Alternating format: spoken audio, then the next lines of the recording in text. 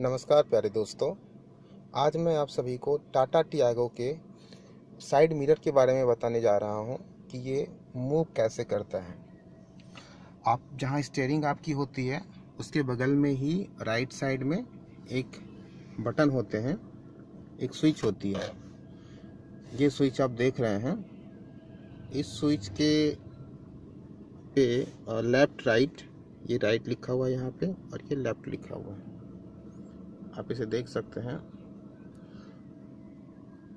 तो जब आपको राइट साइड वाला ड्राइवर साइड के मिरर को मूव करना होता है तो ये जो पॉइंट देख रहे हैं बीच का बिंदु, इस बिंदु को राइट साइड ले जाएँगे।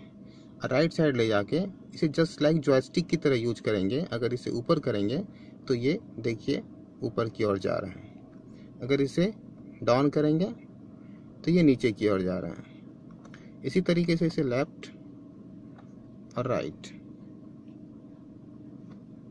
मतलब इस जॉयस्टिक की मदद से आप इस मिरर को मूवमेंट किधर की ओर भी कर सकते हैं। इसके बाद यदि आपको लेफ़्ट साइड के मिरर को मूव करना होता है लेफ़्ट साइड का ये मिरर तो इसके लिए आपको इसी पॉइंट को मिड में कर लेना है। मिड के बाद लेफ़्ट साइड ये एल लिखा हुआ है। एल फॉर लेफ़्ट तो लेफ़्ट साइड के मिरर का मूवमेंट जैसे जॉयस्टिक का उपयोग आप इधर कर रहे थे मूव करके वैसे ही उधर भी करना है। ये देखिए मूव कर रहा है। लेफ़्ट साइड ये राइट साइड हो गया। ज़रूरत के हिसाब से आप इसे घुमा सकते हैं। अगर आपको ऊपर देखना है, नीचे देखना है, जिधर भी जो आपके लिए लगे कि ये सही दिशा है यहाँ तक आपके मिरर को रहना चाहिए। आप वहाँ सेट कर सकते हैं।